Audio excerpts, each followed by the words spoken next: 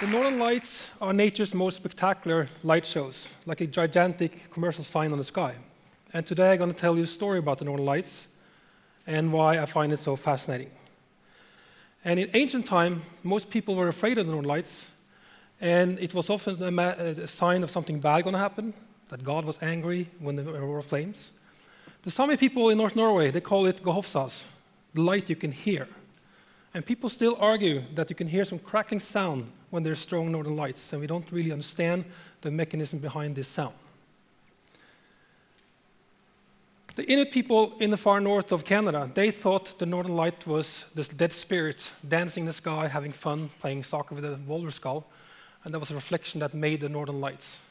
And even the Indians in North Dakota had stories about the northern lights. It was the flames on the big pots in the far north where the medicine men boiled the dead enemies. In Finland, the name of the northern lights are called Revontula, which is the Arctic fox. And the story is that the Arctic fox was running far north, and when it was coming far up north, there was lots of snow, and the fur was touching the mountains and swirling up snow, and that was a reflection seen on the sky as the northern lights. Another culture had similar stories. In Denmark, there was a flock of swans flying far north, and they got stuck in the ice, and they're flapping their wings to get loose, and that was also swirling up snow and creating the northern lights. And up in North Norway, not that many years back actually, they thought that if you were waving with white handkerchiefs, you can actually intensify the northern lights. And the northern lights was move in the same tempo that you were waving. And sometimes they even took the kids inside because the northern lights was known to steal kids. And lots of people were still afraid of it uh, not that far back in time. The Vikings had a spectacular view of the northern lights when they sailed across the oceans. It was really dark. And they were the first to actually use the name the Northern Lights or Norderljos.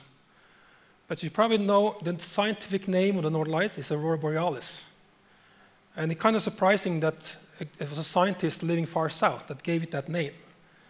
It was Galileo in Italy that first named it Aurora Borealis.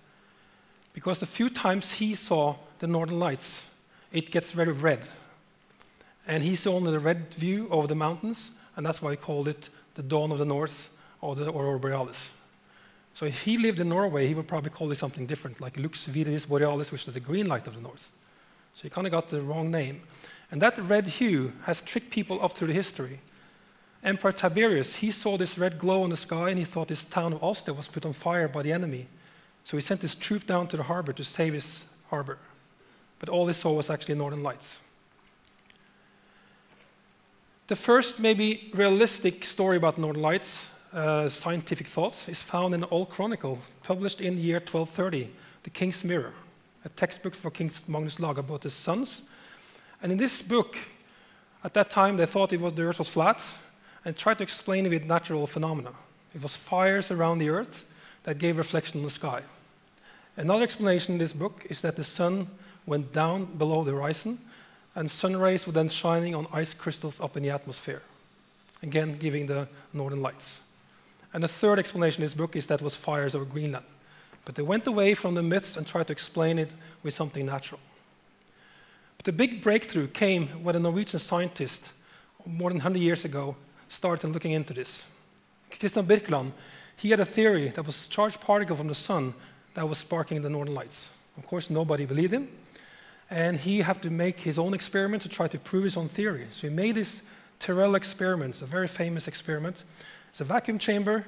He pumped up all the air and he put the earth inside there in metal sphere and the magnet inside there again and bombarded it with particles, electrons, actually three years before they knew the electrons existed.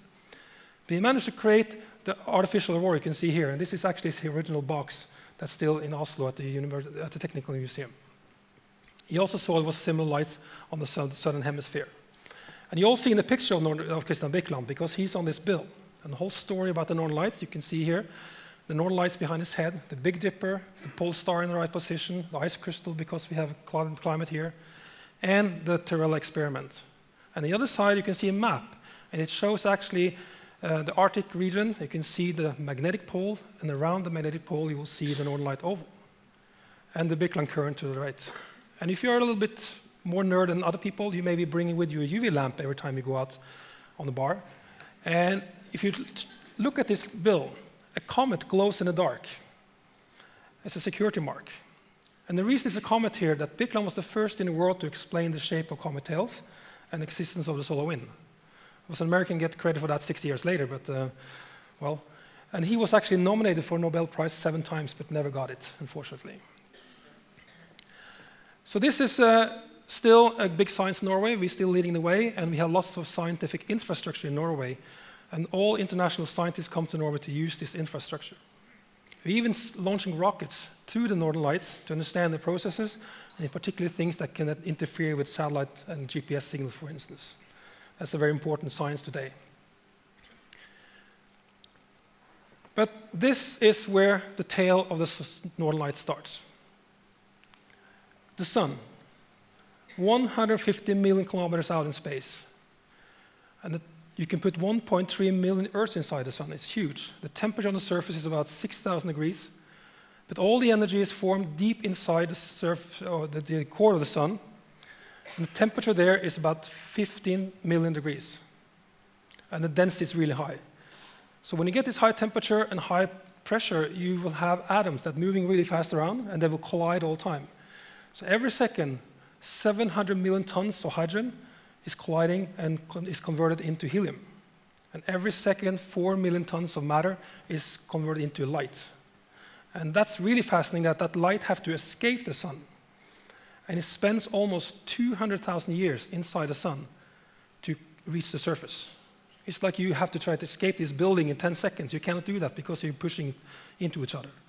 So the light you receive today actually started this traveling 200,000 years back in time. One of the most interesting features on the sun are sunspots. These are dark features that's caused by strong magnetic field, and they can be really big. And basically what's happening is that strong magnetic field are building up under the surface of the sun, and they will then start pushing this, the way through the surface, and when that happens, they will actually block some of the energy to reach out these, uh, in these regions. They will be somewhat colder and look dark. And these magnetic field lines can then twist and snap and cause solar storms. And the sun is not constant. It varies, in, in particular in an 11-year cycle. It goes from having many sunspots, strong magnetic field, then it's weak again, many sunspots, few sunspots, and so on. And the intensity of these cycles vary a little bit, and, but basically, the Northern Light also follow the same cycle. And right now, we are on close to the maximum of a solar cycle. That means we have many sunstorms, and there's lots of Northern Lights these days. Today, we're using satellites to look at all this um, picture of the sun or taking picture of the sun. We can see radiation we cannot see from ground because we are above the ozone layer and so on. So if you look at the sun from space, invisible light, just like our eyes can see. You see the surface of the sun. You see sunspot. It looks like a kind of boring sphere. And it also rotates. It takes about 27 days for the sun to go around its own axis one time. But if you put on a filter in front of your eyes or in a telescope that blocks out all the visible light and only transmitting UV light, almost opposite what your sunglasses is doing, then the sun will look very different. This is the sun in UV, and now we see the sun's atmosphere, the layers above the surface. And now it looks much more exciting and much more dynamic, and this is where the action goes on. If you're changing the filter and moving either higher up in the atmosphere of the sun, you can see the corona. And now you can also see the magnetic field coming out of the sunspot regions, where now hot gas is clinging to those magnetic field lines, which are usually invisible. And if you get closer, you can actually see how these dynamic loops is dancing around. And you have to remember the Earth is 50 times smaller than these loops. Enormous amount of energy are released in these loops. And sometimes these loops can snap, and what happens then? Then gas will be thrown out in space. And sometimes these gas clouds are directed towards the Earth. And then we get some interesting effects. This is an example of a very enormous uh, explosion of the sun, some gas falling back on the surface, lots of gas moving out in space.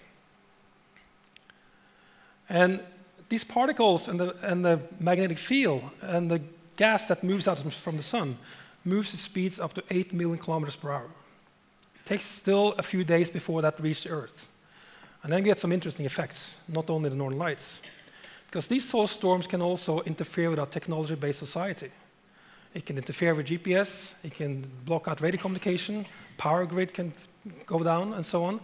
And since our society gets more and more technology based and using satellites, we are more uh, affected by these solar storms. But the nice effect, of course, is the northern lights. So, what's causing the northern lights? Well, the solar storm comes through space, and it, at some point, the magnetic field from the sun will couple together with the Earth's magnetic field, the magnetosphere, in particular if they're opposite directed. And some particles penetrate down in the polar region on the day side, and that creates a daytime aurora, which our eyes can't not really see. But the nighttime aurora we are used to see at night comes from particles entering into the tail region, and they will be ejected back along the magnetic field lines and ending up in the polar regions. And then it colliding with the atmosphere, and we get polar lights on both poles. And that's the nighttime aurora we can see with our eyes. To really explain what happened in the atmosphere, we have made a new animation now for a documentary that really tries to explain the details here. So now we're going to dive into the atmosphere following these magnetic field lines and just see what these particles do when they get closer to the atmosphere. Eventually, the density will increase, and they will start colliding with atoms and molecules in the atmosphere. And then it will actually transfer some energy to each of those atoms, and, then, and they will actually start glowing in the dark. And some atoms will then emit the red light, some will emit green light, and some purple, and so on, depending on the speed of the particle hitting them. So, what makes them glow? Well, when you hit an atom you transfer some energy into it, the outermost electron have to move out to the different orbit. And it doesn't like to be there. It kind of hate to be out in that orbit. It tries to get back to where it belongs. And to do that, it has to send out energy in form of light, a photon. So the color is dependent on the energy levels between those atom orbits or electron orbits. Then you end up with a beautiful display of northern lights in a circle around the magnetic pole. And the mechanism there is exactly the same you have in a commercial sign or neon sign. And then you have a spectacular view if you go in space. These are from the space station. You're looking down on the northern lights. You can see the northern lights reaching up towards the space station. Actually, they're flying to the top of the northern lights when you see it from space. Today, we're using satellites to monitor the sun and to warn about solar storms, both for space weather purposes, but also for predicting northern lights. And we can actually predict the arrival time from these storms. And if you go on the internet, you can find lots of web pages now today that actually give you very good forecasting if there will be lights tonight or the next few days. So it's quite easy to try to follow this uh, forecasting. And there's even cell phone apps you can do and download. So you can check before you go to bed. Maybe I should go out again if it's northern lights. You don't go to sleep. So this is very important to do that if you try to hunt northern lights. And this is how these maps looks like. Depending on the satellite measure outside the magnetosphere, this band of northern lights will move south, and sometimes you can see the northern lights also over South Norway like we did a few weeks ago. Then you should definitely not go out and sleep. So why is Norway the best country to go and see the northern lights? Well, the band you see the northern lights is, is far north, and the North Norway's tip is sticking into this band. Of course, it's also visible in North Canada, North Alaska, and Siberia, and so on. But it's bitterly cold there, minus four degrees. There's no airports, it's very hard to get there. And in Norway, it's quite mild because of the Gulf Stream, and we have big cities, and it's really access to all the cities you can think of.